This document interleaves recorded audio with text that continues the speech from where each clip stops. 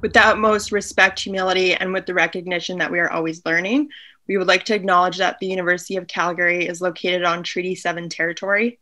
We are grateful to be on the traditional territory, territory of the Blackfoot, which includes the Siksika, the Piikani, and the Kainai First Nations. Treaty 7 is also home to the Tsuut'ina, the Stoney Nakoda, including the Chiniki, the Wesley, and the Bearspaw First Nations, as well as the Métis Nation of Alberta Region 3.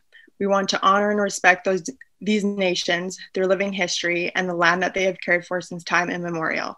We make this acknowledgement as an act of reconciliation and gratitude to those whose territory we reside on or are visiting. Thank you. I'll pass it back to Daryl. Great. Thanks, Amelia. Um, with us today, we've got four uh, excellent and accomplished panelists. Um, we have uh, Gary Perkins. He uh, currently works with the Alberta Utilities Commission uh, he's earned a Master of Laws uh, in Natural Resources, Energy, and Environmental Law from the U of C in 2019. Um, also with us, some of you may recognize Professor Hamilton. Uh, he uh, he earned a JD from New Brunswick and an LLM from Osgoode Hall, and he currently teaches probably some of the folks on this call property law, or did last year as well. Um, and he also teaches an upper year course in um, Aboriginal peoples in the law. He's uh, he's written and co-authored numerous uh, papers and blog posts uh, covering topics like Indigenous peoples and federalism and foundations of the duty to consult. Um, also joining us, we have uh, Megan Conroy. Uh, she's a partner with the Edmonton office of MLT Aikins. Uh, she, as her bio describes on the site, she advises First Nations and Métis communities on constitutional issues, including consultation activities. Uh, and she also represented five uh, intervener First Nations at the Supreme Court of Canada in the Grassy Narrows case. Uh, and finally, we have uh, Bill Snow. He's a member of the Stoney Nakoda First Nation and Wesley First Nation, uh, and he works as the consultation manager for the Stoney Nakoda Nation uh, since 2012. So um, I'll let him speak a little bit more to what, what that involves. Um, uh, just a quick little bit of housekeeping. If there are questions that come up along the way, uh, feel free to uh, put them in the chat or send them directly to Amelia or to uh, Jeff, um, and then we can we can address them as we go, or um, uh, or or we'll have time at the end of the at the end of the talk to have some actual audience questions, hopefully. Um, and before we get things rolling here, uh, we'll just turn it over to Mark for a moment to, to say a few words for the Runnymede Society. Hi, everyone. Yeah, I'll be very quick. I know we want to get to the substance of the panel. Uh, my name is Mark Mancini. I'm the National Director of the Running Runnymede Society. I just want to say a very quick word of thanks on behalf of all of us at the Society to uh, Daryl and to Lisa and to Jeff uh, for all their work in putting this event together. And I also want to sincerely thank the Indigenous Law Club and Amelia and Ava and Aaron for uh, co-hosting this event with us. Uh, this is such an important topic and it's right at the core of uh, what Runnymede's concerned with, the rule of law and constitutionalism in Canada. And uh, we're just so happy to be partnered with the Indigenous Law Club uh, on this event. So thank you all. Thank you for your work. And uh, let's. Uh, this is going to be a great event. I'm really looking forward to it. Thank you. All right. Thanks, Mark. Um, so the, the plan for the agenda was to start off with some some introductory comments from each of the speakers. We were going to start with Mr. Perkins to give a bit of a background about some of the seminal cases uh, and what he what he does with the AUC.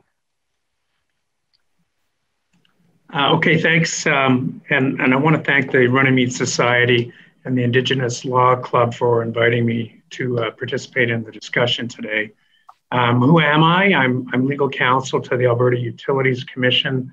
Um, the commission is the independent government appointed agency that regulates the utility sector in Alberta primarily the uh, electricity and natural gas utilities. Uh, the commission makes two basic kinds of decisions. Um, it set, sets rates for the service that is furnished by privately owned service providers, and it also approves the construction and operation of uh, utility facility infrastructure. Um, I work on the facility side of things. I do not do rates work. Um, I have a standing uh, sort of joke with uh, Professor Nigel Bankes that everything I know about rates I learned in his energy law class. He thinks it's a joke, but it's true. Um, so I do not do rates. Please no rates questions. Um, I've been legal counsel to, also been legal counsel to the oil and gas regulator in Alberta, uh, the most recent version of that being the Alberta Energy Regulator. And it was the work I was doing there in oil sands projects starting about 17 years ago that uh, introduced me to the uh, world of Section 35 rights and Crown consultation. So um, that's uh, probably all you need to know about me. Uh, just let me give the standard disclaimer that so that nobody hears misled. Um, although I work for the commission, I am not a member of the commission. I am not a decision maker here. And so uh, nothing I say today should be taken as being or reflecting the views of the commission. And um, if you decide to cite me as your authority, uh, you do so at great peril to whatever argument you're making at the time. Um, so, again, just thanks again to the Society and the club for inviting me here today. Perfect. Thanks, Gary. Um, uh, next, I think we were going to turn it over to Professor Hamilton um, to just give sort of a, an overview of the state of the law and, and what um, maybe a sort of a primer for people who haven't taken your, your first year uh, property class yet. Okay, thanks, Daryl. So, um, yeah, I'll try to orient here. I wasn't quite sure where we were going to. Um, each of the participants are going to come in in terms of what substantive issues we're going to address. But if you'd like me to do a bit of an overview piece, we can start with that. Um, so the duty to what is the duty to consult and accommodate, right? We've all heard a lot about it, and we see it come up in the news very frequently. Um, basically, the Crown has an obligation to consult and, where necessary, accommodate um, Indigenous peoples wherever it considers or it has real or constructive knowledge of, of an asserted or established Aboriginal right, and it considers an activity that may impact that right. Right. So this is a very broad sort of umbrella when we think about it in these terms. The Crown doesn't have to have uh, real knowledge, it's real or constructive, right? Either it knows or it ought to know about the existence or the assertion of an Aboriginal or treaty right. And it's considering some sort of activity that may have an adverse impact on that. So, whenever we have this situation, the Crown has a constitutional obligation to enter into uh, consultations with those with the concerned Indigenous uh, peoples. now, the content of that consultation, how much consultation is going to be required, is determined by what the court refers to as a spectrum. So, uh, the spectrum uh, is sort of laid out in terms of the strength of the claim and the severity of the impact. So when you have a very strong claim, either an established Aboriginal or treaty right, or a claim that has a very high likelihood of success, and when you have a considerable impact, right, some sort of development um, that is of considerable scale or is going to impact the exercise of that right directly, then you're going to be at the high end of a consultation spectrum. And when you're at that end of the spectrum, um, there are certain types of duties that are required that I'll speak to in a second when you're at the low end, right? So you may have a, a claim that's being put forward that the court considers uh, tangential, perhaps, or less likely to, to, to succeed, or you have a very minimal impact, right? You may have uh, something like a road that's being built that's at some distance from where a given First Nation is in, is practicing their Aboriginal or treaty rights, so the impact may be more minimal in the court's view. Then you're going to be at the low end of the spectrum, and when you're down at that end, you can be as low as something like notice being given, right? Has notice been given before the project has gone forward? I think the most interesting cases are the ones where you're at the at the higher end of the spectrum, and very much and very frequently that ends up being where the disputes are. So uh, it's it's less a dispute about where you are on the spectrum or whether there's a duty to consult. Although those those cases do come up, but more both parties say, okay, yes, there's a duty to consult. There's an impact on a right. Now, what level of consultation is required? Has there been sufficient consultation in a given case? So frequently, with, for example, um, this the Tsleil-Waututh decision and the Trans Mountain Pipeline, those are the types of disputes we see. Um, so, a couple of quick words then. What constitutes meaningful consultation then? Um, when we when we're at this higher end of the spectrum, and again, I'll stick at that end. We've the, the duty to consult doctrine has um, matured quite a bit, right? It was first articulated in Haida Nation in 2004. So we have quite a large body of case law now to draw on in trying to substantiate the doctrine a little bit. And the recent decision from the Federal Court of Appeal in the Coldwater decision uh, provided quite a bit of guidance and rearticulation around what constitutes meaningful um, consultation.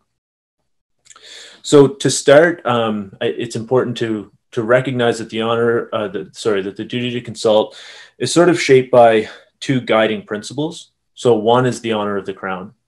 The honor of the crown, the court has said, um, arises because of the fact that there were Indigenous peoples living in Canada um, in organized societies, exercising uh, rights at the time that the crown asserted sovereignty over that territory. So the crown's assertion of sovereignty, of sovereign control over a territory that was occupied by indigenous peoples gives rise to the honor of the crown. It places certain types of obligations on the crown and imposes duties on the crown. So the honor of the crown is one guiding principle. Now the the obligations that the honor of the crown gives rise to differ depending in different circumstances. The duty to consult is sort of one instantiation of what of uh, one thing, one set of duties that the honor of the crown can give rise to. The second guiding principle is reconciliation uh, in the court's view. So the court has inter- has articulated reconciliation in a, in a whole host of different ways. I think one thing that you want to pay close attention to in, in reading through these types of cases is to uh, remember that the political use of the term reconciliation is quite distinct from the legal use right? So you get a whole bunch of different legal definitions that would be given in the cases. Um, uh, the, the first articulation is that the purpose of Section 35 is to reconcile Indigenous interests with asserted Crown sovereignty, right? So that's a that's something very different from the notion of reconciliation that we might be putting forward in political contexts. Okay, so these these uh, guiding principles then shape the court. They they establish obligations uh, that the Crown holds in relation to Indigenous peoples. When we're at the high end of the spectrum of consultation, so the duty to consult has, has arisen, really what we're looking for there is uh, good faith engagement on the part of the Crown uh, regarding the project, its impacts, um, the indigenous understanding of the rights at issue and how the project is likely to impact those rights. The court in the Tsleil-Waututh decision really emphasized that there's a need for what it referred to as meaningful two-way dialogue. Okay, so it's not enough for the Crown merely to send uh, note takers, right, to listen to the Indigenous parties and then say, okay, great, we know your concern, check mark, now we'll go make our decision right? It has to engage in a meaningful process of two way dialogue where it goes in good faith, under, seeks to understand the Indigenous concerns, and then seeks to uh, allow those concerns to shape the decision that it's going to make. Further, it has to present, for example, uh, written evidence, uh, very often written reasons showing that it's taken this into concern. So, how has it tried to understand the Indigenous concerns? How have those shaped the decision, and so forth? Now, when, when framed in that way, it can seem quite robust, but it's also important to understand the limits on it, right? So, uh, again, looking at the Coldwater decision, the court emphasized again and again and again what does the duty to consult not include? A so called veto, right? So, can a First Nation say no? Um, the court has been consistent, right, across its duty to consult jurisprudence in this. The duty to consult does not include the right to refuse a project or to say no. Uh, to flip that around another way, it doesn't uh, it doesn't include a requirement to obtain consent, right? So this is the framework that we work within. When it's at its highest end, the duty to consult requires this meaningful two-way dialogue back and forth, taking into cons- into consideration the indigenous concerns, allowing the decisions to be shaped by those concerns, yet uh, and even a formal participation in the decision making process, not up to the level of actually requiring consent. Okay, so I'll just say a couple of quick words then about some areas uh, that I consider of particular interest going forward uh, for the duty to consult. So, one is uh, how the doctrine is going to respond to cumulative impacts. So uh, this is so, for example, uh, a given First Nation may find that their rights are being impacted um, by a whole host of different developments. This is a, a, big problem, for example, in Treaty 8 territory, where First Nations are saying, well, look, it's all of these developments taken together are undermining our ability to exercise our rights. The duty to consult tends to want to focus only on one project at a time, right? Well, what are the impacts of this project? Um, so the doctrine has developed in ways that can start trying to respond to that, but it's still an area of tension and an area that needs development. Uh, a second one that I think lots of us will be watching is what's the relationship between legislation and the duty to consult. So there is recent case law from the Supreme Court um, suggesting there is no duty to consult in the process of the development of legislation. Um, it was all given an obiter, um, but I think this would fall into the persuasive at obiter category because um, you know they didn't really talk about anything else. So that was the uh, that was the gist of the decision but nonetheless it was a, it was a highly divided court and there are lots of issues around that that need to be sorted out. Um, something that we see re- uh, really clearly when we look at the recent coastal gaslink decision for example around the northern gateway project is who is it that's going to be consulted, right? Increasingly, Indigenous peoples are um, asserting rights of self determination and asserting rights to be governed in accordance with traditional forms of governance. Is it enough to consult with elected governments or band council governments or governments that are established under under self government agreements or other forms of governments, or uh, do or to what extent do hereditary or tr- other forms of traditional government need to be involved in those discussions? All really important questions that we don't necessarily have clear answers to. Um, and finally, I think one very niche one that probably only interests me and Mark um, is what is the applicable uh, standard of review um, when we start talking about applying Vavilov in the context of administrative decisions under the uh, duty to consult. So that's a fun, um, very niche, nerdy piece. Um, okay, so and then sort of the, the big picture one is increasingly we've seen a push toward free, prior, and informed consent as, if not uh, law, as a very persuasive uh, norm, sort of in, in Canada, and Indigenous peoples have increasingly been voicing their understanding that their constitutional relationship with the crown requires their consent where the rights are at issue.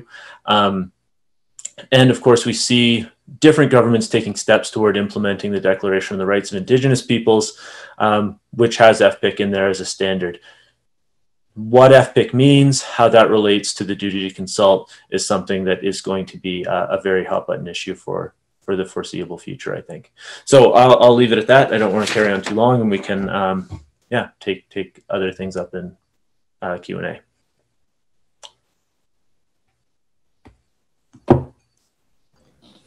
Perfect. Thanks, Professor Hamilton. That was excellent.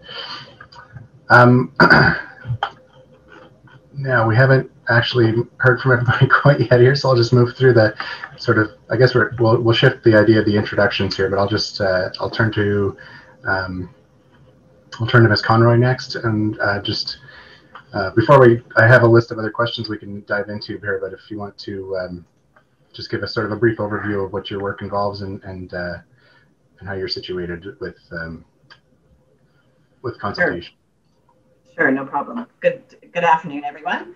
Um, so, as our friend stated before, I'm a partner in the Edmonton office of MLT and um, I've been in the area of Aboriginal law or Indigenous law for about 15 years.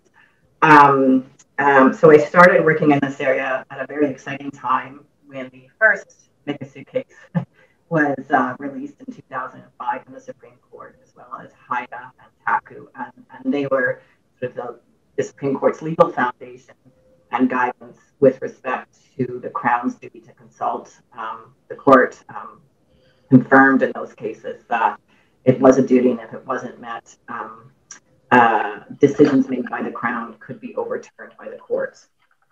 And um, it was important in a, in a few ways, um, uh, as we all know, in terms of um, regulatory matters um, involving project approval. So most of my work, but not all of it, but most of it involves representation of Métis communities or First Nations in regulatory matters. So um, where there's a project that um, needs approval under the environmental assessment uh, system um, that's applicable, um, I uh, represent the First Nation and Métis community involvement in that.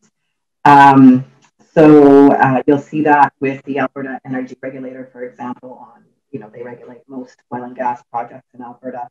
Uh, Mr. Perkins' shop at the um, Alberta Utilities Commission, some of uh, the facilities or transmission lines that his commission approves um, will uh, impact Indigenous interests. Um, the National Energy Board, now the Canadian Energy Regulator, and also um, quite involved these days with the uh, new federal impact assessment agency and, and their review of projects. So um, just very briefly, I won't go through all the case law because Professor Hamilton did a very uh, good 3,000 review of the law, but it has been interesting to see the evolution over the last 15 years with these tribunals um, um, and how they have evolved to try to, um, or sometimes resisted trying to build in um, um, the legal requirement uh, with regard to the honor of the crown, including consultation and, um, if necessary, accommodation. Um, uh, and, and it's been interesting to watch. Sometimes it feels like it goes very slow from my perspective in terms of that evolution, but uh, I guess that is the nature of uh, Aboriginal rights law. Um, um, and I think I just wanted to address one thing Professor Hamilton said, um, if I may. Um, uh, if I if I understood correct, I, correctly, I think Professor Hamilton said at the high end of the duty to consult, um, you know, there's a requirement for two-way dialogue, as we saw in the Tsleil-Waututh decision. Um, I would just push against it a little bit and say that there has been a comment from the Supreme Court that consent may be required in certain circumstances um, uh, where the duty to consult is triggered. Now, we haven't seen a case where a court has said, you know, on these facts, consent is required, but I, I would say, I would put to you that, that that's still open, that consent may be required in certain circumstances where the impact is uh, severe enough and where there is, say, a proven right um, under Section 35. And I would contrast that with a veto um, uh, uh power. Um, and um, yeah, that's all. That's all my comments for now. And Professor Hamilton can, and I can have more discussion on it with the rest of the uh, folks watching. Perfect. Yeah, thanks very much. Um, okay, we'll turn to uh, Mr. Snow. Uh, we'll just uh, looking at the time, and I'll just sort of maybe give you a question as well as your introduction comments here, if you want to um, if you want to let us know sort of what your what your position involves and and um, your views on this, as well as uh, if you see that there's anything um, problematic with current guidance from from the courts. Um, Ambo Wastich, uh, the Gunjawa Minta Winchustabi Ishnish. Uh, it's good to be here. Thank you to the Runnymede Society and uh, University of Calgary for for hosting the session today. Uh, it's good to be here. Uh, I myself am a graduate of the um, University of Lethbridge in the business administration program uh, many, many moons ago in the 1990s. And I've also done work with the um, uh, in environment and oil and gas along the way uh, into the 2000s, and then eventually made my way back to the reserve here at uh, at uh, Stoney Nation, and been working there since initially in 2010 with the uh, Wesley Consultation uh, Office, and then I moved into the Consultation Manager as of uh, 2012. So uh, I've seen a few governments come and go, and what they've tried to do uh, in and around consultation policy uh, in that time, and I've been to many meetings with Indigenous relations and with uh, very very many proponents, uh, just like Gary with the AUC, and have also been uh, making time in the last few years to do more of uh, to do more cultural presentations. Uh, for example, like with the Chiniki lecture, Chiniki lecture series with the uh, the History Graduate Students Union there at the U of C. Just trying to get a bit more Indigenous um, uh, content in directly from First Nations out to the the student groups. So happy to be here today. it's a good and timely topic. Uh, my first comment that I wanted to make was that um, consultation. I guess there's a legal there's a legal definition to it, but there's also uh, a meaning that consultation has uh, for Indigenous people, and it's important because when we talk about consultation, we're really talking about the effects that projects have on the land and that's important because indigenous people have a relationship to the land. And if a project comes along, it's going to impact that relationship. What's also important is that a project may impact the environment. And that environment affects our relationship to the land, the vegetation, the wildlife. And then also, in a sense, when you have a project coming onto a landscape that impacts land, it also impacts ourselves, the identity that we have.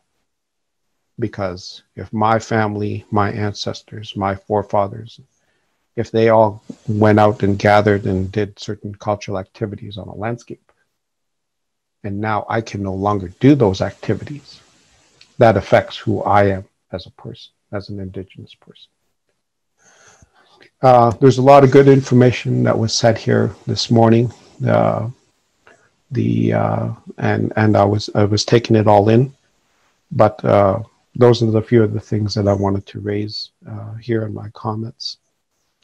So the the importance of consultation is that right now, I guess the the current state that we're in I think we have to look at it uh, not just from the chronological order, but understand it on how it has unfolded.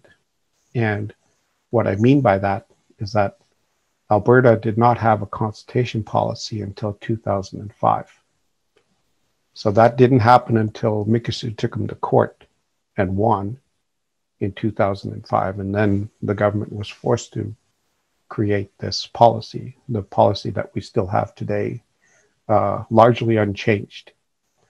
Uh, there were some uh, rumblings of change back in 2012, 2013, when the, the Levy Act was being proposed, uh, but that didn't go very far, uh, and there was no, not a whole, whole lot of uh, momentum behind it. It was it was rejected by by many uh, chiefs of many nations uh, here in Alberta, Treaty 6, 7, and 8.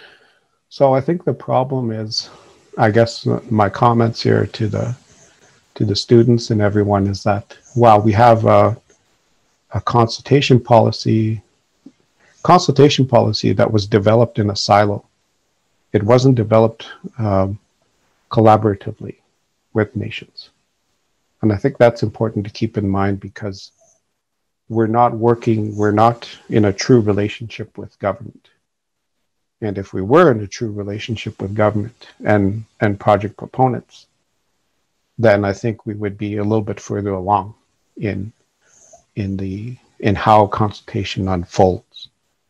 And so uh, the only other point here I wanted to make was that uh, back in 2010, there was a document that was released by uh, Treaty 6, 7, and 8 uh, during the discussions at that time, uh, where the leadership um, forwarded a document that proposed, instead of going the policy route, to go through consultation agreements between government and First Nations.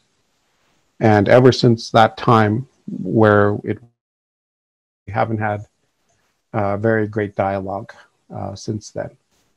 Um, I would note that uh, while we have consultation agreements in place for uh, uh, for facilities uh, for proposed projects.